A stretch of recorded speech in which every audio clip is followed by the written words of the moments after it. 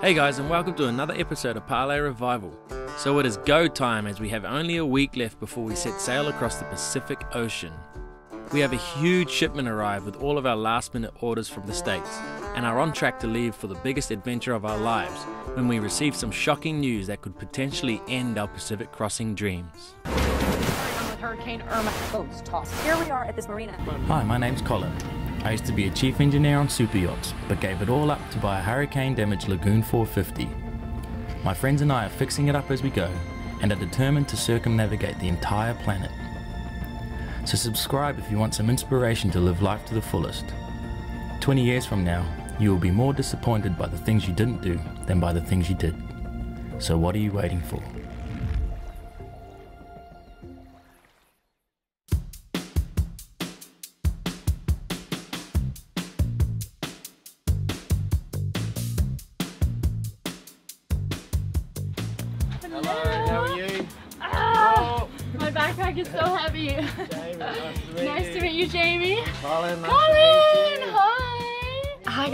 My name is Katie. I'm from Anguilla, a beautiful little island in the Caribbean.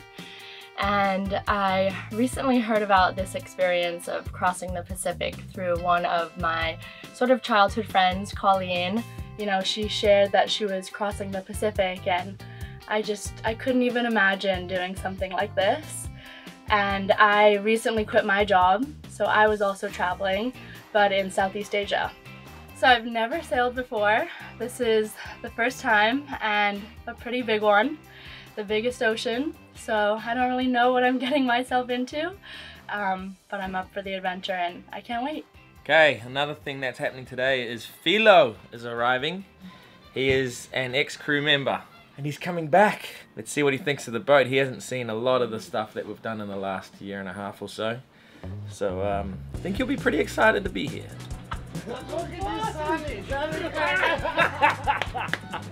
yeah, yeah, Good to see you. Good to back. see Oh my goodness, oh my goodness. Hello, hello. It's all new. This is all new. Yeah, the hard top is all new. It was it was just a frame in a in a in a shipyard when I left. Hello, my name is Philo. I was on Parlay already about three years ago.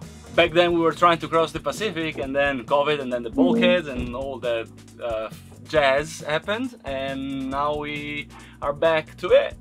trying it again, take two.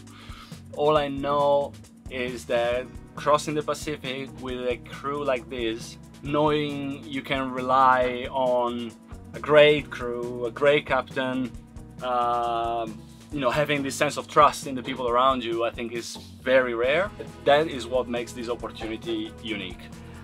We're gonna have eight crew. That is eight mouths to feed. And we have 2,600 miles to go to the Marquesas Islands in French Polynesia. So the first thing we've just started talking about is food. Food is gonna be a major issue. Um, we think that the best way to do it is come up with a Monday to Monday to Sunday meal plan prep. Provisioning for an ocean crossing is a huge job and entails multiple trips to the grocery store to get everything that we need. We were going to be eight crew on the crossing, plus two dogs, so a lot of mouths to feed. It's actually only day one and it's our second trip to the shop. So we are knocking it out quick. Hopefully today we have done at least 70% of our shopping. But yeah, we're just getting the oils, milks, canned chicken, that's gonna be our favorite one. Olive oil. We better get some olive oil. French Polynesia is also extremely expensive, so anything we buy in Mexico will end up saving me in the long run. So I spent around $5,000 that week on food and provisions, which I was hoping would last quite some time. It fits. Okay. Yeah, Jesus. Ah! Wait, did you all fit in there? Yeah, Is Philo on the roof or what? We bought about a thousand tins of food, 200 kilograms of dried goods, and about a thousand cans of beer. We would have bought even more, but as always, it's storage and weight that's the issue. I think we're going to pull the labels off because cockroaches can get in and lay eggs, and then you can have a full-on infestation on the boat. Also going to label the tops. We've already got a pretty good system. Like ah, chickpeas, they're CP, so we're at CP on the top, just so when you're looking down under the bed or in the lockers, can see exactly what it is because we're gonna pull these off. Big job, but I think it's worth it in the long run. We were almost done stowing all of the food when I got a call from a friend in need. So our friend Steve was heading out for a little sail with um, Al, and uh, he lost his engine and almost ended up on the rocks over here. and Ended up right next to the jet ski shed. Spun around and sailed back into the marina area, um, but his engine wasn't going in and out of gear. Rescue, Parlay rescue! The more aft I am, the more control I have. I'll be able to push him that way pretty easily because I'm way out here, but I'll also, if I go hard over, I'll be able to push the stern that way. If I was midships, everything I do will be trying to push him that way. So the further back I am, the better.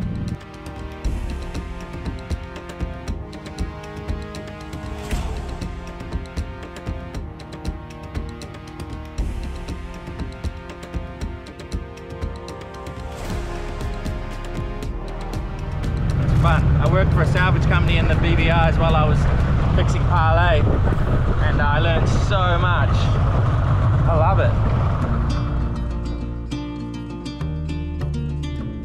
Well, it's your last day. It's been just like absolute trip of a lifetime. The amazing adventures we've had, the ways I've grown and learned so much about um, trip planning and sailing and to learn under Colin and he was so generous with his time and so great at teaching me and just having faith in me to like go and take the wrenches and go and take the sail drive apart and you know do all the wiring and stuff with them. And so to be able to learn and to have the opportunity to like be part of that and give back to the boat was also really special. Because for me that was what drew me to parlay in the first place. It's hard when you become this close with everyone and um, yeah it's uh it's yeah let's say until next time Holy crap, just got a message that the dinghy and the massive shipment from Texas is here.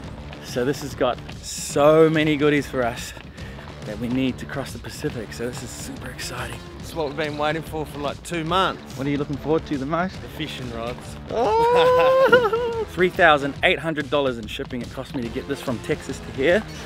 So, expensive operation.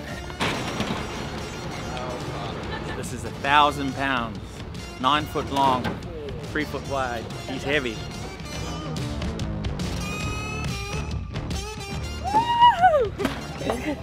Oh. Autopilot? Oh, slide. Yeah. This is heavy as shit. you got it This was a thousand pounds. All of this weight is getting added to the boat, plus eight crew, plus all the provisioning and gear and everything that weighs a ton. Luckily she's got brand new bulkheads, so she's strong.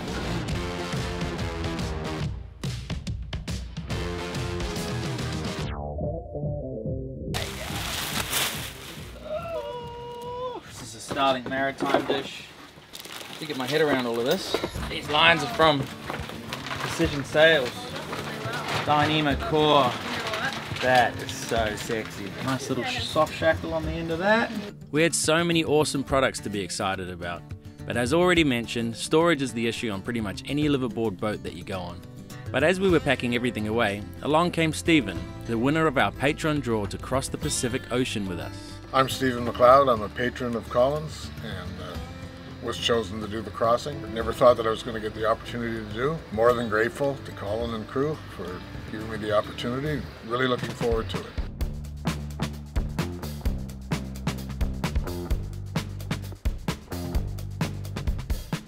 Oh my god, we just went to lift the dinghy up and the bridle snapped. Imagine if that happened when we're underway doing 8 knots. It's perfect timing because we got all these new lines from Precision Sails. You said this is a good knot. So we cut up one of our old halyards to use as a dinghy bridle and carried on replacing all of our running rigging. When we replace halyards, we use a bit of fishing line to butt connect both lines because it's a major hassle if the join snaps and you have to completely rerun the halyard. We replaced all the halyards, furling lines, and sheets and finished off with a brand new topping lift. Oh yeah. Oh. That's how you make the magic happen there. Okay, so what I'm to do now is I'm going to do, let's get out of the wind. I'm to do a rigging inspection. I feel like now is close enough to the time of departure, but not so close that we can't get something replaced if we have to. And then once I'm done and I find nothing, hopefully, uh, I'm gonna pay a rigger to go do a rig inspection as well. It's like $150. Not a lot of money for peace of mind across the Pacific, especially after two lightning strikes. You know what, I'm gonna start right here at the diamond shrouds, looking for any broken strands or anything like that. Any cracks? All the way down here, same deal. They all look okay. So I thoroughly checked the shrouds, the swage fittings, toggles, turnbuckles and chain plates before heading up the mast to check tangs and the top ends of all the shrouds. No cracks in the swages. To my unprofessional eye, everything looked to be totally fine.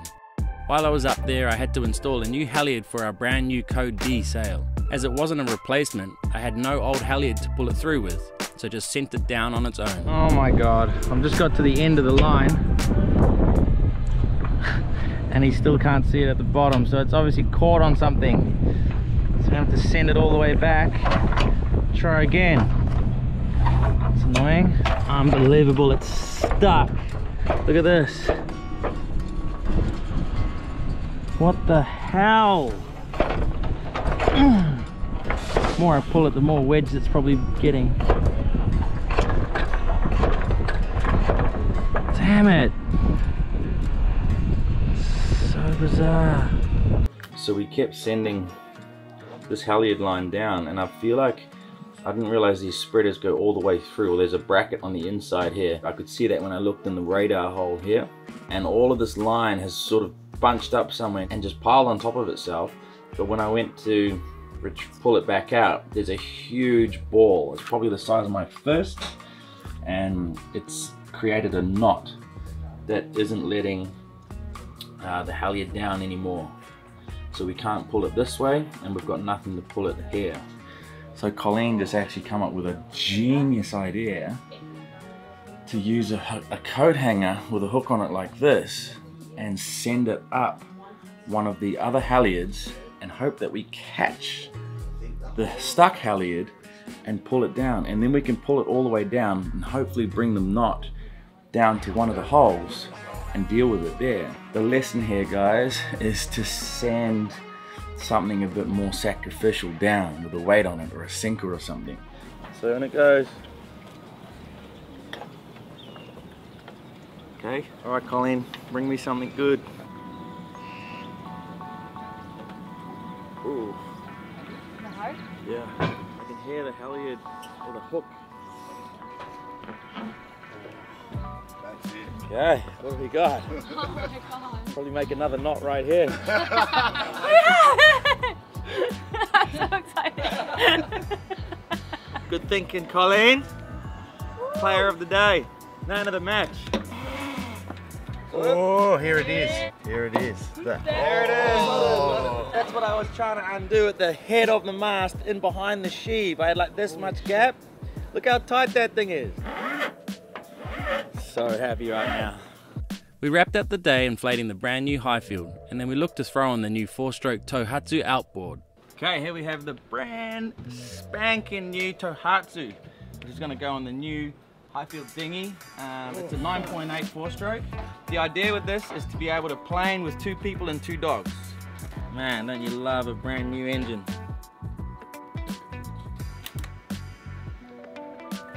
Okay, it's full check it again once it's been run.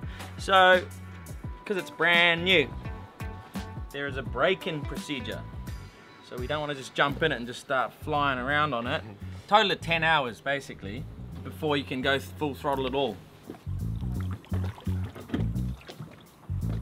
Let's see, first pull.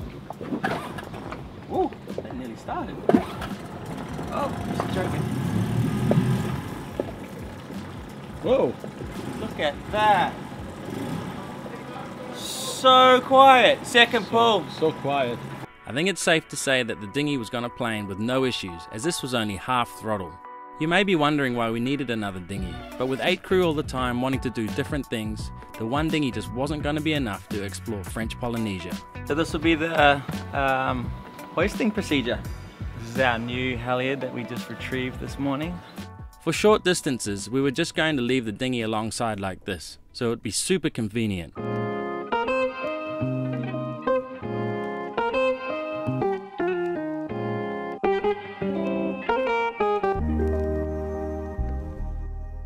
Okay, morning guys. We are going to move to La Cruz for overnight.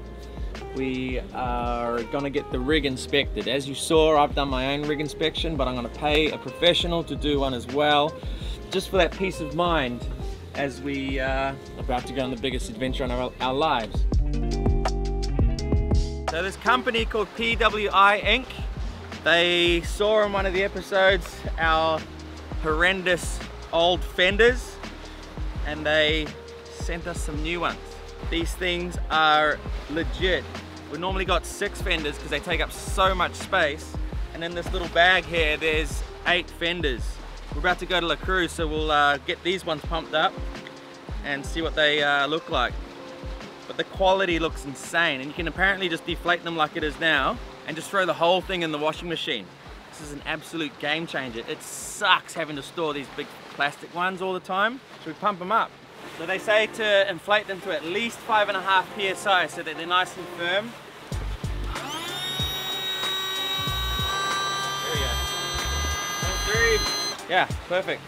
We do the paddle boards to about 12, so it's not it's less than half of that. Easy. They're light too. this big spherical one will be good because the hull is curved obviously, so we can stick these on the bow and stern and uh, they'll obviously touch the dock before these ones will. They also sent us a couple of spare, um, I guess they're called bladders or something. If you do happen to get a nail or something all the way through, uh, you just throw a new one of these in. We pumped the rest up by hand, which actually turned out to be quicker than the electric pump. It's so easy to pump up. These are the nicest fenders I've ever seen. Look at this pile of fenders compared to the last pile and there was only six of the other ones. And these take up what, a fifth of the space? Yeah.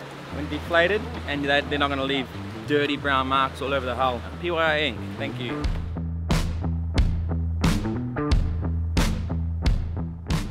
We also checked to see how the dinghy would fit on the bow for those slightly longer trips. On the Pacific crossing, I'm going to take the motor off completely and then put it upside down on one of the hulls. Just so if we take a big wave over the bow, the water can still get through the trampoline and not fill up the dinghy. So we arrived at La Cruz Marina and went straight to the fuel dock to top up all the tanks, which hold a thousand litres of diesel and all of our jerry cans with gas, as this may be hard to come by in French Polynesia. The rigger Eddie then arrived to do the inspection, but after 20 minutes or so, came down to deliver some horrible, horrible news. They're not that that bad, but they are cracks, you know. They're, there's no broken strands, but they they did catch my attention because I could even touch it with my nail. Proper hairline crack. Yep. So the rigger had found a tiny hairline crack on the outside of the swage fitting for one of the cap shrouds, only visible because of a tiny amount of rust seeping out of the crack after he had scrubbed it with the Scotch pad. So this is how fast things can change in this game. We were meant to cross the Pacific Wednesday, but looks like it's going to be pushed back. So now we're just trying to figure out how we can get some standing rigging down here as soon as possible because it's 16 mil cable stainless steel. So yeah, that's where we're at. It just sucks. This was the worst possible news that he could have given us in this moment. It was an absolute no-brainer for me at this point that all of the standing rigging would need to be replaced if I was going to be able to sleep at night. But the local weather router was telling us that there may only be one more weather window this season to cross the Pacific. After a bunch of phone calls, we found that we could not get the shrouds anywhere in Mexico, so we would need a miracle to get everything from the States down in time for us to be able to cross this year. It was starting to feel a lot like the universe just didn't want us to cross the Pacific again. To say I was demoralized was an understatement. But anyone who knows me will tell you that I'm not one to give up, because when there's a will, there's a way.